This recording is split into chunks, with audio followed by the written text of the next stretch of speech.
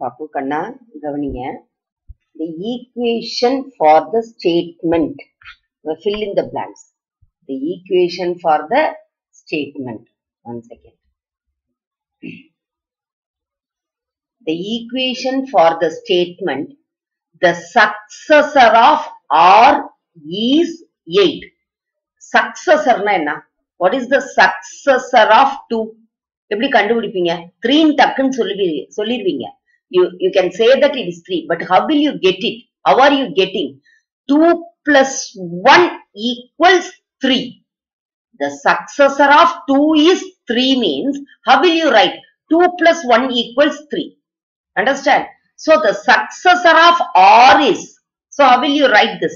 R plus 1 equal to 8 because the successor of r is 8 the successor of r is nothing but r plus 1 if the number is r then its successor is r plus 1 number வந்து ஆறுனா அதனோட successor என்ன? R plus one ரைட்டுங்களா அப்ப என்ன சொல்லியிருக்காங்க? R plus ஒன்னுன்றது என்னது?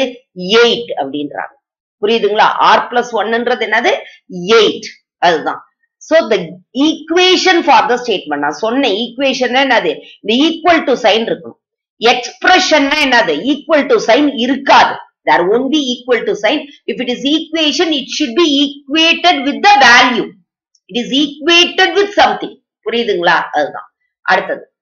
Bala has two different types of rods கண்ணு எனக்கு முன்னாடியே ப்ராப்ளத்தை ரீட் பண்ணுங்க. ரீட் பண்ணி ஆன்சர் ட்ரை பண்ணி வைங்க. அதுக்கப்புறம் என்ன என்னோட வீடியோவை ரெஃபர் பண்ணுங்க. Bala has two different types of rods how many types two types one is C type and another one is D type So three rods of length C each. ஒவ்வொரு ராடும் ஈச்னா என்ன ஒவ்வொன்னு புரியுதுங்களா each rod is three length C length C So how many rods? Three rods. So each of the rod is three means C means how many rods are there? Three rods are there. So three into C. and two rods of length D. இந்த ராடோட length என்ன D but how many rods are there எத்தனை rod ரெண்டு rod அதாவது two into D அதாவது நம்ம என்ன எழுதுறோம்? டூ டின்னு எழுதுறோம். இதுவும் அப்படிதான். த்ரீ இன்டூ சி அதை நம்ம என்ன எழுதுறோம்? த்ரீ சின்னு எழுதுறோம். புரியுதுங்களா? ஒரு ராடோட லென்த் சீனா மூணு ராடோட லென்த் எவ்வளவு? த்ரீ இன்டூ சி இப்ப ஒண்ணும் இல்ல. ஒரு ராடோட லென்த் வந்து டூ மீட்டர்னு வச்சுக்கோ. அப்ப மூணு ராடோட லென்த் த்ரீ இன்டூ டூன்னு வைப்பீங்களா இந்த டூக்கு பதில இங்க என்ன ஆல்பபெட் யூஸ் பண்ணிருக்காங்க? சீனு யூஸ் பண்ணிருக்காங்க. அதே மாதிரி தான் இங்க. புரியுதுங்களா? இப்ப டி ஈக்குவல் டு போர்னு வச்சுக்கோ. அப்ப எத்தனை ராட் இருக்குது? ரெண்டு ராட் இருக்கு. அப்ப டூ போர் சார் அப்படித்தானே கொடுப்பீங்க? அதுதான். வேற ஒண்ணும் இல்ல. இங்க என்ன வந்திருக்குது வேரியபிள் வந்திருக்கு அதனால த்ரீ இன்டூ சி மேல த்ரீ சின்னு எழுதிட்டோம் இங்கே டூ டின்னு எழுதிட்டோம் அவங்க என்ன கேட்டிருக்கிறாங்க three rods of length C each and two rods of length D each as shown below கண்டுபிடிச்சிட்டோம் the total length of the rods the total length of the rods by joining all of the miss இப்ப இதுல நீங்க குடுக்கணும். புரியுதுங்களா? என்னன்னு? Three C plus two D என்ன பண்ணுவோம்? இந்த மூணு ராடோட லென்த் இந்த மூணு ராடோட லென்த் என்ன? த்ரீ சி இந்த ரெண்டு ராடோட லென்த் என்னது? டூ டி அப்ப three C plus two D புரியுது அடிக்கணும் இப்ப இது ஏன் மல்டிப்ளை பண்ணணும்னு தெரியலனா கூட இங்க பாருங்களேன். இப்ப இது டோட்டலா கேக்குறாங்க. அப்ப இது ஜாயின் பண்றோம்னா இங்க பாருங்க. ரைட்டுங்களா அப்ப இங்க இங்க இங்க. இல்லையா? ரைட்டா ரைட் இல்லையா? புரியுதா? C plus C plus C அப்ப எத்தனை சி வரும்? மூணு சி வரும். அடுத்தது என்னது? இங்க ஒரு டி அப்புறம் மறுபடியும் ஒரு டி ரைட்டுங்களா இது ஒரு டி இது ஒரு டி எத்தனை டி டூ டி அப்ப டோட்டல் லென்த் என்னது? Three C plus two D புரியுதாடி கண்ண புரிஞ்சுதா புரியலையா? ரைட் அடுத்தது கண்ண Geetha's mother is four times four times, four times as old as Gita now. அப்ப கீதா ஏஜ என்னன்னு வச்சுக்கணும். எக்ஸ்ன்னு வச்சுக்கிறோம் புரியுதுங்களா? Let Geetha age is X then Geetha's mother's age is four times four times So, Geetha's mother's age mother's Mother's age much How much? Four times as old as கீதாவோட வயசு இப்ப என்ன இருக்கோ அந்த வயசு மாதிரி நாலு மடங்கு. இப்ப இப்ப இருக்கிற வயசு இல்லாட்டி Geetha's age now is what X then Geetha's mother's age is four X Some of their present ages is 50. அப்பு என்ன பண்ணனும்? sum of their present ages is. என்ன அவன் நவுன் குட்திருக்காங்க? அப்பு கீதாஸ் மாத்தாஸ் ஏஜ் என்னது? நவுதா. so x plus 4x equal to 50. x plus 4x is how much? 5x. x ஐயும் for like terms can be added. 5x equal to 50. So, x equal to 50 by 5. 1 5 is 5, 10 5s are 50. So, x equal to what? 5. x is nothing but Gita's age. Not only they are asking. அதான் அவங்க கேட்கறாங்க then Gita's age is dash year old. How many years? 10 years old. How many years? 10 years old. புரியுதாடி கண்ணு நீங்க எப்பவுமே எதோட compare பண்றாங்கன்னு பாருங்க. இங்க Geetha's mother's E mother is four times as old as Geetha now அப்ப கீதாவோட ஏஜா தான் எக்ஸ்னு வச்சுக்கணும். நிறைய குழந்தைங்களுக்கு அந்த இடம் தான் புரியாது. எதை எக்ஸா வச்சுக்கணும் ஏன்னா எது மாதிரி நாலு டைம்னு சொன்னாங்க. கீதா ஏஜ் மாதிரி. அப்ப கீதாவோட ஏஜா தான் நீ என்னன்னு வச்சுக்கணும். எக்ஸ்ன்னு வச்சுக்கணும். சரியாடா அடுத்தது. Raja has worked for six days in a week. Raja has worked for six days in a week. ஒரு வாரத்துல ஆறு நாள் வேலை செய்யறாங்க his daily wage amount is X டெய்லின்னா என்னது? ஒரு நாளைக்கு ஒவ்வொரு நாளும். ஒரு நாளைக்கு எக்ஸ்னா அப்ப ஆறு நாளைக்கு எவ்வளவு? புரியுதுங்களா? டெய்லி வேஜ் இல்லாட்டி wage for one day wage for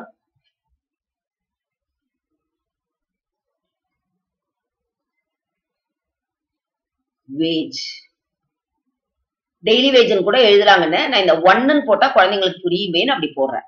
Wage for one day equal to X therefore wage for six understand wage for six days ஒரு நாளைக்கு எக்ஸ்னா சிக்ஸ் டேஸ்க்கு எவ்வளவு? Six into X that is six X ரைட்டுங்களா that is six X how much six X if he spends the amount Y என்னது? Spends the amount Y ஸ்பெண்ட்னால என்னது? அந்த ஒய் அமௌண்ட் அவங்க என்ன பண்றாங்க? செலவு பண்றாங்க.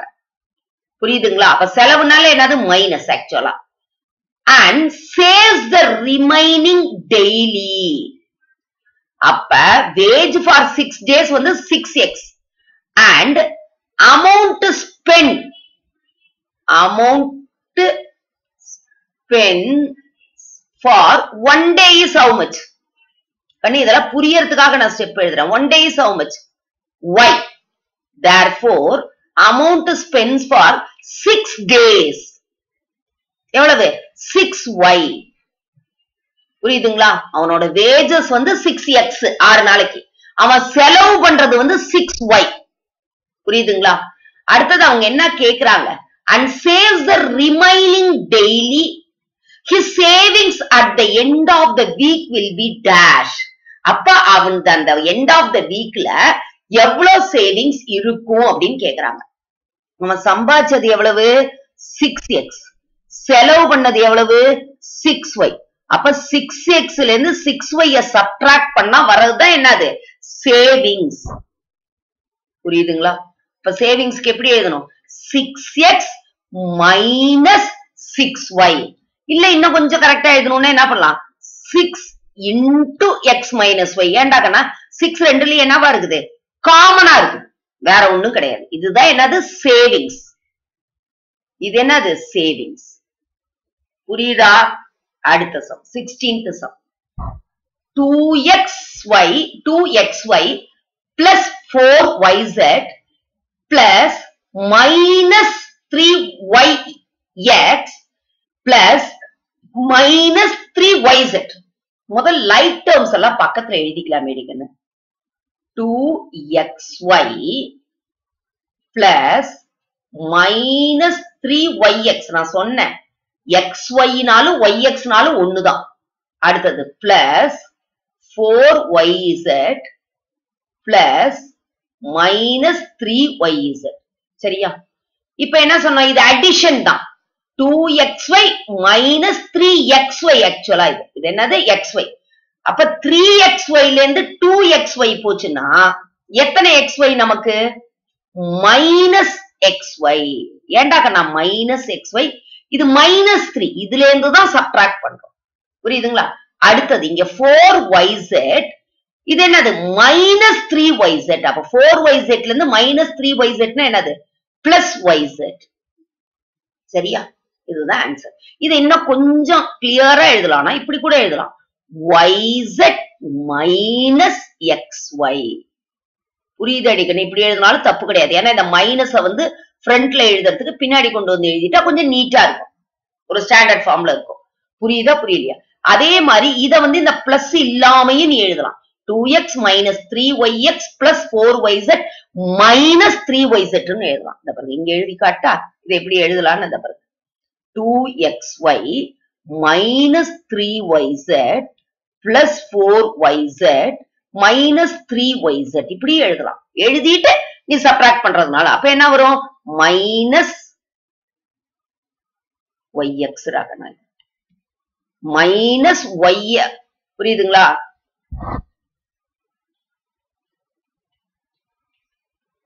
இது ஒய் எக்ஸ் அப்ப என்ன வரும்? மைனஸ் ஒய் எக்ஸ்னு எழுதலாம் எக்ஸ் ஒய்னு எழுதலாம். எப்படி வேணாலும் எழுதலாம். அதையும் கவனிச்சுக்கோங்க. ஒய் எக்ஸ்னு எழுதலாம் எக்ஸ் எக்ஸ் ஒய்னு எழுதலாம். அடுத்து என்னது? பிளஸ் ஒய்செட் இங்க ஒய்செட் ஒய்செட் இருக்கனால ஒய்செட் அதனால இந்த இடத்துல மாத்தி எழுதுனா தப்பு நினைக்காது. இது எப்படி எழுதலாம் ஒய்செட் மைனஸ் ஒய் எக்ஸ் அதனால எப்படி வேணாலும் கொடுக்கலாம் பாருங்க. இங்க ஒரு ஃபார்மேஷன் இங்க ஒரு ஃபார்மேஷன் இப்ப சூஸ் த கரெக்ட் ஆன்சர்ல எல்லாம் கொடுத்தா உடனே தடுமாறிடக்கூடாது நீங்க. அதனாலதான் மிஸ் இது மாதிரி எல்லாமே சொல்றேன் சரியா டாகனா அடுத்தது ராகனா Renu has a regular hexagon shaped lawn in her garden என்னது? ஹெக்ஸகன் ஹெக்ஸகன்னா எத்தனை சைடு இருக்கும்? சிக்ஸ் சைட்ஸ் இருக்கும். எத்தனை சைட்ஸ் இருக்கும்? சிக்ஸ் ஈக்குவல் சைட்ஸ் ரைட்டா சிக்ஸ் ஈக்குவல் சைட்ஸ் இது பிரிச்சீங்கன்னா எத்தனை ட்ரையாங்கிள் கிடைக்கும்? Equilateral triangle six equilateral triangle கிடைக்கும். If the perimeter of that lawn is B perimeter என்னடிக்கன்னு perimeter இப்ப இது சைடு ஏன்னு வச்சுக்கோங்க. இது ஏ இது ஏ இது ஏ இது ஏ இது ஏ பெரிமீட்டர்னா என்ன பண்ணும்? All the side should be added அப்ப six A six A equal to how much B then the side of the lawn is dash metre side of the lawn side என்னன்னு வச்சுக்கிட்டோம். Let side equal to A அப்ப six A equal to B A equal to என்னது? B by six metre B by six metre புரியுதா அடிக்கண்ணே? புரியுதா புரியலையா? ரைட்டா இப்ப இது மீட்டர் இதுவும் மீட்டர் ஏ மீட்டர்னு வச்சுக்கோங்க. இப்ப ஏ இல்லாம எழுதுறதுனா என்ன எழுதணும்னா சிக்ஸ் இன்டூ சைடு என்ன அடிக்கணும் six into side equal to B அப்ப side equal to B by six வேற ஒண்ணும் கிடையாது. அதனால ஏன் வைக்காம செய்யணும்னாலும் செய்யலாம். சிக்ஸ் இன்டூ சைடு எப்படி சிக்ஸ் இன்டூ சைடு வந்துச்சுன்னா side plus side plus side plus ஆறு தடவை போடுவோம் பாருங்க. எஸ் எஸ் சைடுக்கு புரியுதுங்களா? எஸ் பிளஸ் எஸ் ஏன்னா எல்லாத்தையும் நம்ம என்ன பண்றோம்? கூட்டுறோம். அப்ப என்ன வருது? சிக்ஸ் எஸ் எஸ்ன்றது என்னது? சைடு அப்ப சிக்ஸ் இன்டூ சைடு புரியுது அடிக்கண்ணு புரியுதா? புரியலையா? அடுத்த சம் மேட்ச் த ஃபாலோயிங் இப்ப இங்க கவனிங்க. Three H and three K three H and three K இது என்னன்றது இங்க கொடுத்திருக்க இந்த அஞ்சு ஆப்ஷன்ல கரெக்டா பார்க்கணும். ஹெச் த்ரீ கே அப்படி தெரியலனாலும் உடனே பயப்படாத. இங்க கொடுத்திருக்கிறதுல பாரு சூட் ஆகுமான்னு பாருங்க. கண்டிப்பா இது சூட் ஆகல. இப்படி பார்க்கும்போது என்ன ஆகல? நமக்கு ஒண்ணும் புரியல. இப்ப த்ரீ எஃப் எஃப்க்கு இதுக்கு சம்பந்தமே இல்ல. மைனஸ் த்ரீக்கு சம்பந்தம் இல்ல. மோனாமியல். இப்ப இதுவும் இதுவும் மோனாமியல் தான். த்ரீ ஹெச்ன்றது மோனாமியல் த்ரீ கேன்றது மோனாமியல் தான். அப்ப இது மோனாமியல் வர்ற மாதிரி இருக்குது. வேற எதுக்காவது வருதான்னு இப்ப செக் பண்ணணும். உம் இப்ப பாருங்க இது கண்டுபிடிச்சிட்டோம். அப்ப ஃபைவ் எக்ஸ் தான் என்னது? மோனாமியல். சரியாடி கண்ணு இதுவும் மோனாமியல் தான். ஆனா வேற ஆன்சர் வருதான்னு பாக்கலாம் ஏன்னா இதுக்கு வேற ஆன்சர் வராது. அதனால இதுக்கு இதுதான். ரைட்டா அப்ப என்ன டேர்ம் லைக் டேர்ம்ஸும் கிடையாது. அப்ப என்ன டேர்ம் அன்லைக் டேர்ம்ஸ் இது என்னடி கண்ணு அன்லைக் டேர்ம்ஸ் ரைட்டா இப்ப இத கண்டுபிடிக்க வரும்போது இது கண்டுபிடிச்சிட்டோம். சரியாடி கண்ணு அடுத்தது. த சம் ஆஃப் அப்ப என்ன அர்த்தம்? Five F minus two F ஏன்னா பிளஸ் போது அப்படியே டைரக்டா எழுதிக்கலாம். அப்ப five F minus two F என்ன அடிக்கணும்? வெரி குட் கண்டுபிடிச்சாச்சா? த்ரீ எஃப் இதுதான். சரியா அடிக்கணும்? இது எங்க போகும்? இங்க போகும். சரியா? அடுத்தது. ஏபி அண்ட் மைனஸ் பிஏ இருக்கிறது நம்ம இது ரெண்டு தான் மைனஸ் த்ரீயும் லைக் டேர்ம்ஸும் தான். இங்க மைனஸ் த்ரீ வர்றதுக்கு பாசிபிலிட்டி கிடையாது. அப்ப என்னது இது பாருங்க? ஏபி பிஏனாலும் இது என்னது? ஏபி தான் மைனஸ் ஏபி தான். அப்ப என்ன டேர்ம்ஸ் இது? லைக் டேர்ம்ஸ் இது என்ன டேர்ம்ஸ் லைக் டேர்ம்ஸ் சரியாடி கண்ணு? அடுத்தது numerical coefficient of minus three GH minus three GH GH ஓட கோஎஃபிஷியன்ட் நியூமரிக்கல் கோஎஃபிஷியன்ட் என்னது இங்க? மைனஸ் த்ரீ அப்ப இதுதான் ஆன்சர் புரியுது அடிக்கணும் மைனஸ் த்ரீ வேணும்னா நீங்க இப்படி போட்டுக்கோங்க ஸ்ட்ரெயிட் லைன் வச்சு.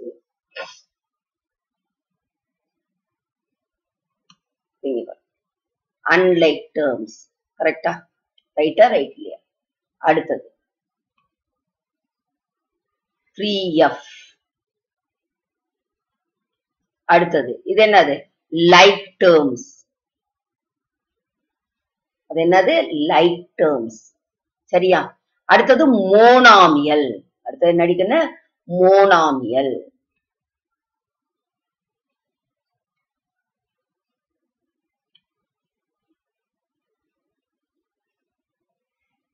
சரியா அடிக்கணும் புரியுதா? புரியலையா?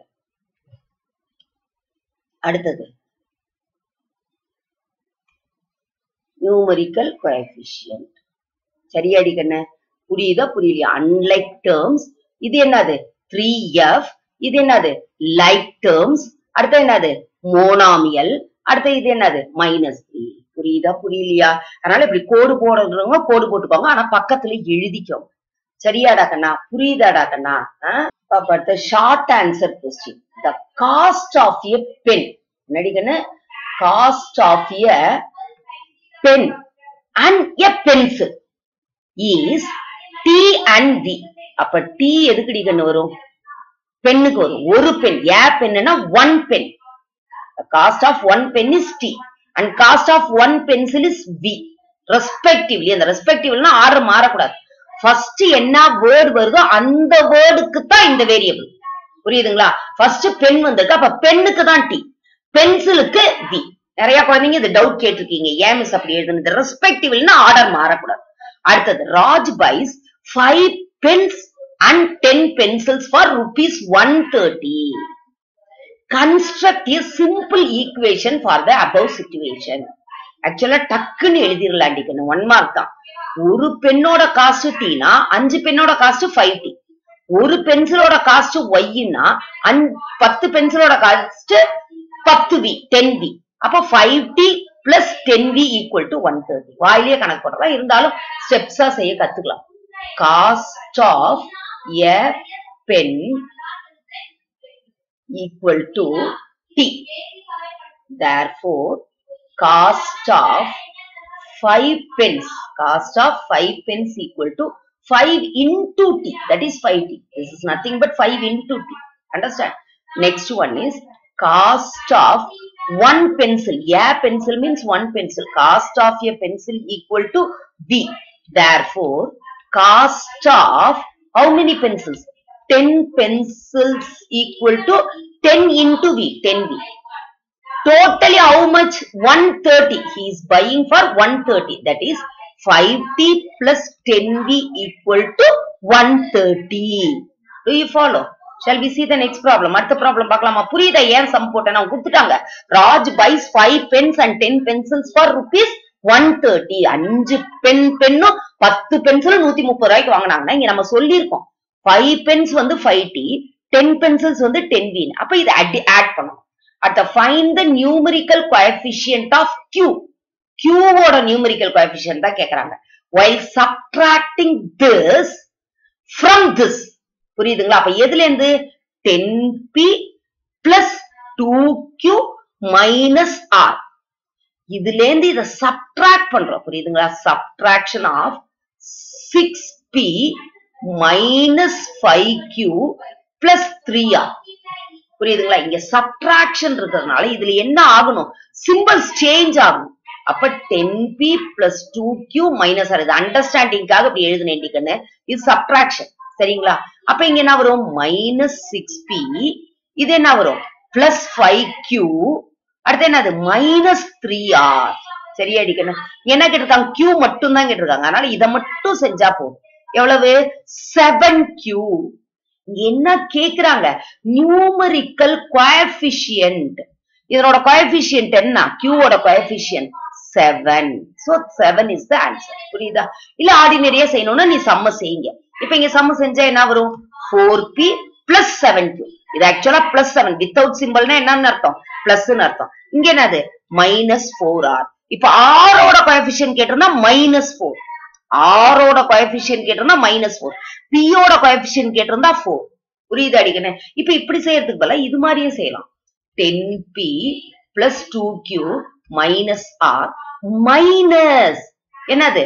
Six P minus five Q plus three R ten P plus two Q minus R இது சப்ட்ராக்ஷன் சப்ட்ராக்ஷன் நம்ம என்ன பார்த்தோம்? ஆடிங் த ஆடிட்டிவ் இன்வர்ஸ் ஒரு மெத்தட் இல்லையா each term is multiplied by minus ஏதாவது ஒண்ணு வச்சுக்கோங்க. ஆடிட்டிவ் இன்வர்ஸ்னா என்ன ஆகும் இது? பிளஸ் சிக்ஸ் பி இங்க வந்தா என்ன ஆகும்? மைனஸ் சிக்ஸ் பின்னு மாறும். ஏன்னா இது அடிஷன் இந்த சப்ட்ராக்ஷன் என்னவா மாறிடும்? பிளஸ் மாறிடும். நம்ம அதுக்கு பதிலா அதனால இல்ல each term is multiplied by minus each term is ஒவ்வொரு டேர்மும் மைனஸால மல்டிப்ளை ஆகுதுன்னு வச்சுக்கிட்டாலும் வச்சுக்கலாம். Plus into minus minus minus into minus plus five Q plus into minus minus minus three R right அடிக்கணும் இப்ப இது ரெண்டு. ரைட்டா அப்ப என்ன வருது? ஃபோர் பி ஏன்னா ten P minus six P அடுத்தது என்னது? Two Q plus five Q அப்ப என்னது? செவன் கியூ அடுத்த minus R minus three R அப்ப மைனஸ் ஃபோர் ஆர் எப்படி வேணாலும் செய்யலாம் டிகன் புரியுதா? புரியலையா? இதை இதை மாத்தணும்னா இப்படியும் செய்யலாம். Ten P plus two Q minus R இந்த சப்ராக்ஷன் என்னவோ மாத்திக்கலாம். பிளஸ் மாத்தி உள்ள சிம்பிள் மாத்திக்கலாம். மைனஸ் பிளஸ் அதான் ஆடிட்டிவ் இன்வர்ஸ் வேற ஒன்றும் இல்ல. அப்புறம் ஒவ்வொரு டேர்மையும் அதோட இது பண்ணிக்கிறோம். அதுக்கு பதிலா இப்படி டைரக்டா எழுதிக்கிறதா பரவாயில்ல. இந்த ஸ்டெப் அவாய்ட் பண்ணிட்டு டைரக்டா இப்படி எழுதுறதா பரவாயில்ல. புரிஞ்சுதாடா கண்ணா தேங்க்யூ